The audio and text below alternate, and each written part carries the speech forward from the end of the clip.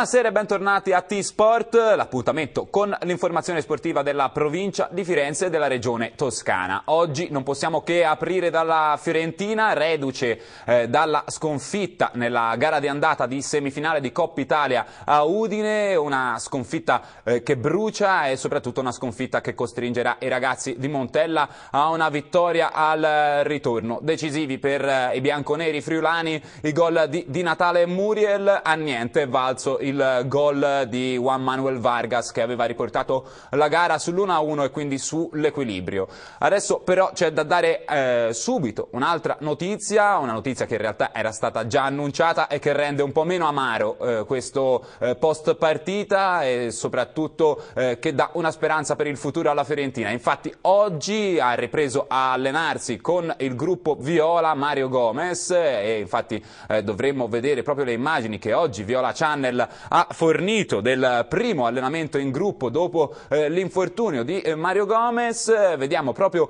eh, Montella che consegna la casacchina a Mario Gomez, Mario Gomez che presentandosi all'allenamento ha eh, praticamente detto a Montella ciao sono Mario e di ruolo, faccio l'attaccante, scherzando un po' e eh, rompendo l'atmosfera grigia ovviamente eh, dovuta alla sconfitta di ieri sera. Queste le immagini di Mario Gomez, Mario Gomez accolto dai compagni, Mario Gomez che poi finge anche una sorta di dolore quando il compagno eh, gli sale in collo e quindi eh, finge appunto di avere una ricaduta, forse anche qui eh, per scherzare, vedere distemperare dei toni che dopo la sconfitta di ieri certo non possono essere eh, rosei. Adesso andiamo proprio a sentire le voci dei protagonisti dopo la partita di ieri sera, infatti ecco le conferenze stampa eh, di Vincenzo Montella e di Manuel Pasquale. La sua fiducia di approdare in finale è un po' diminuita dopo stasera e se vuole no, chiamare... No, no, perché anche con un 1-1 sarebbe stata la, la, stessa cosa, nel senso che sarebbe stata la stessa, il mio umore sarebbe umore, il, la mia fiducia sarebbe stata la stessa, quindi tutto aperto. Eh, L'Udinese è una squadra pericolosissima anche fuori casa, perché gioca più o meno nello stesso modo in casa e fuori casa, quindi ti può far male come è successo oggi con le ripartenze veloci perché hanno giocatori veloci e, di qualità. Ma non è un, un momento particolarmente felice. Eh,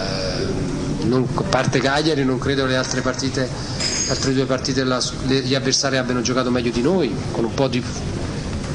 fortuna, un po' di capacità in più avremmo potuto vincerle entrambe, eh, così non è stato, eh, non, non, che l'Udinese abbia dire, rubato qualcosa stasera, il calcio è questo, eh, però al momento noi faremo di tutto per farla diventare indolore questa sconfitta. Senti, ti volevo chiedere della prestazione di Matri, che mi sembra aver dato veramente tutto, cioè ha dettato il passaggio, è andato a prendere i palloni da ogni parte. Allora, e... Ha fatto una partita di temperamento, di, di giocatore che sa giocare con la squadra capisce quando la squadra ha bisogno di lui, insomma ha fatto una partita grande da centravanti vero con, con lettura delle situazioni. Abbiamo preso gol sia il primo che, che il secondo, dire il nostro momento migliore, sembrava che da un momento all'altro potesse arrivare il nostro gol invece abbiamo subito. Peccato perché comunque avevamo concesso veramente poco, poi secondo tempo insomma l'Udinese non ha praticamente quasi mai passato a metà campo, eravamo riusciti a arginare bene i, i loro contropiedi però insomma è un risultato che possa ribaltare che c'è la voglia e la volontà di andare prima di tutto in finale di, di, Coppa Italia anche per aver già un posto sicuro in Europa League. Sì, diciamo che le condizioni non erano so per dire ottimali per il nostro, la nostra maniera di giocare, però il campo ecco, non era neanche in pessime condizioni. Eh, ci dispiace perché comunque non, non, ci siamo nemmeno accontentati dell'1-1 come magari potevano fare molte altre squadre. Eh, ti ho detto prima, eravamo convinti di poter fare il secondo gol invece, invece l'abbiamo subito. Sì, eravamo un po', eravamo un po aperti e abbiamo preso, abbiamo preso, il primo gol. Quella è stata la classica azione de, dell'Udinese,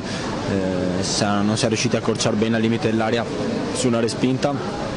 e quindi insomma, ci, hanno messo, ci hanno messo in difficoltà, poi alla fine siamo riusciti comunque ad arginarli molto bene.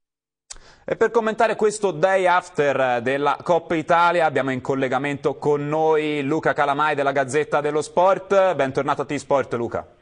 Ciao, ciao, buonasera a tutti. Allora, in apertura di T-Sport abbiamo detto una sconfitta che fa male ovviamente, abbiamo anche sentito le parole di Montella che dice che in pratica non è tanto più complicata di un risultato di 1-1 all'andata questa sconfitta di 2-1 eh, però allo stesso tempo un po' di amarezza, lo dobbiamo dire, c'è, c'è perché ci si aspettava un risultato diverso, Luca. No, anche perché comunque questo è un risultato che viene dopo due risultati negativi in campionato, viene dopo una situazione che aveva visto la Fiorentina riequilibrare il pareggio, conquistare il pareggio a Udine 1-1 e quello sarebbe stato il risultato ottimale, viene perché ha la sensazione che questa squadra abbia dei momenti di, eh, di, di vuoto che paga a caro prezzo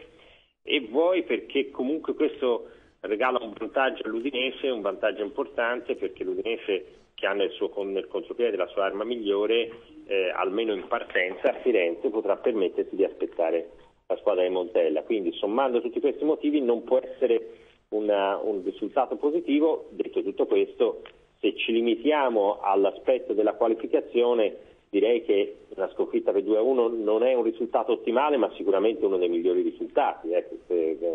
in trasferta, perché comunque hai segnato un gol, nella gara di ritorno ti basterebbe l'1-0 per passare. Esatto, 1-0 che basterebbe per uh, passare, il gol del pareggio ce l'ha dato uh, Vargas e un gol veramente da cineteca che in parte eh, magari ha nascosto alcune difficoltà della Fiorentina, anche se dobbiamo dirlo l'Udinese non ha fatto una partita di attacco eh, tutto sommato. Eh, ti chiedo però come hai visto il difensore appunto, di Akite che era al debutto con la maglia della Fiorentina in questa partita contro uno osso duro come Di Natale là davanti? Allora, calcolando che era il debutto e quindi eh, eh, credo abbia anche poco, poco feeling in questo momento con il resto della squadra, è uno dei pochi che ho valutato in maniera sufficiente. Eh, già se vai dall'altra parte del campo, per esempio Pasquale mi è piaciuto molto meno. Quindi si può lavorare, mi sembra un acquisto che può dare valore alla squadra, certo anche lui deve crescere, ma questo lo sa benissimo. Eh, però ecco, i problemi della Fiorentina non sono lì, ecco, i problemi della Fiorentina li ho visti in mezzo al campo dove, dove a parte Borca Valero che si è sacrificato in un, veramente in un lavoro massacrante, eh, questo giocatore ha una, ha una, capacità di corsa incredibile tra l'altro. Eh, gli altri sono stati tutti di basso profilo e soprattutto ho avuto l'ulteriore conferma che la Fiorentina sia poco protetta in mezzo al campo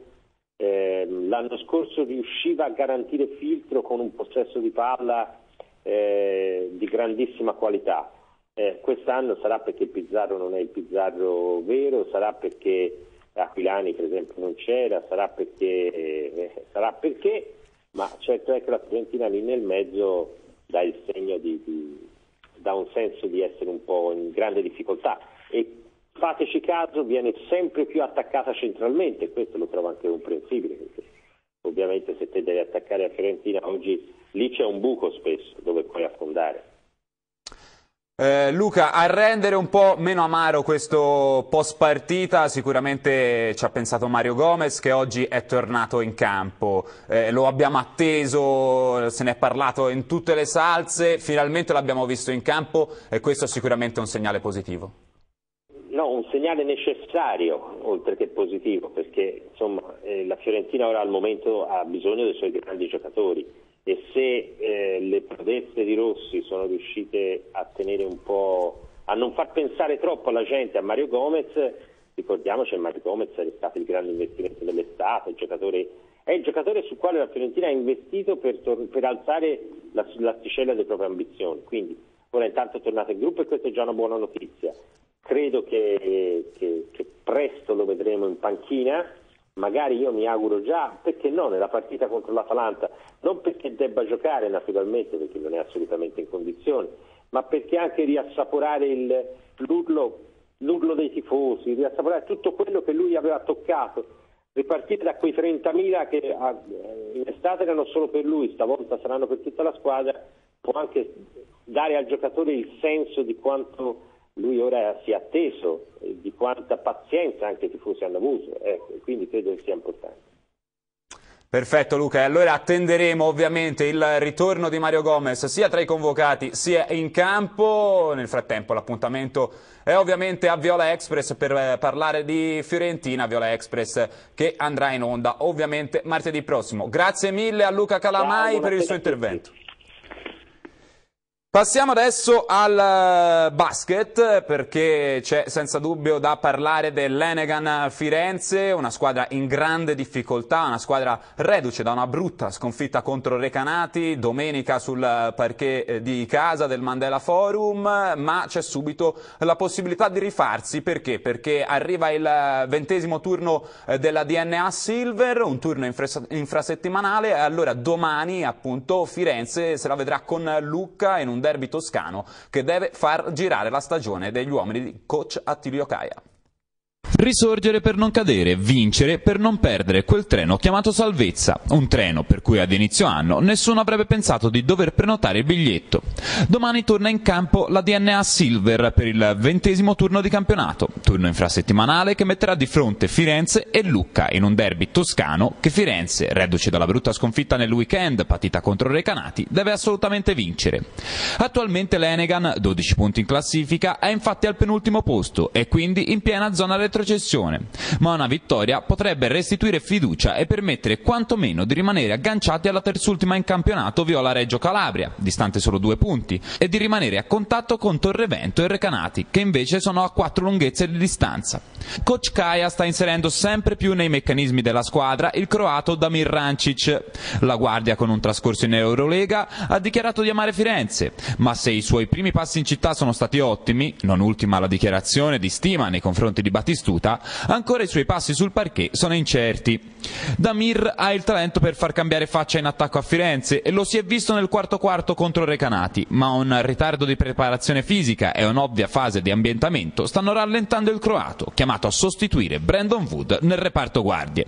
Il minutaggio di Rancic comunque continua a salire, siamo passati dai 16 minuti dell'esordio ai 25 contro Recanati e proprio lui dovrebbe essere l'uomo che guiderà Firenze contro Lucca. Della sua mano sicuramente ci sarà bisogno nei finali delle partite. Firenze è uscita infatti sconfitta negli ultimi quattro incontri e lo ha fatto sempre in finali tirati, che l'hanno vista sconfitta con uno scarto mai superiore ai sei punti. Lucca dal canto suo ha sicuramente voglia di fare terra di conquista del Mandela Forum, vendicare la sconfitta dell'andata e continuare il suo campionato di vertice, trovandosi quinta con soli sei punti di distanza dalla capolista Agrigento. All'andata sulla panchina di Firenze sedeva ancora coach Giordani, che vincendo 88 a 84 al Palatagliate prolungò di una giornata la sua permanenza sulla panchina dell'Africo. Nonostante il cambio di panchina, il precedente aiuta Firenze a sperare di non essere in ritardo. Il treno, in partenza dalla zona di Campo di Marte, non sarà l'ultimo per raggiungere la salvezza, ma portare la striscia di sconfitte consecutive a quota 5 complicherebbe non poco il viaggio dell'Enegan.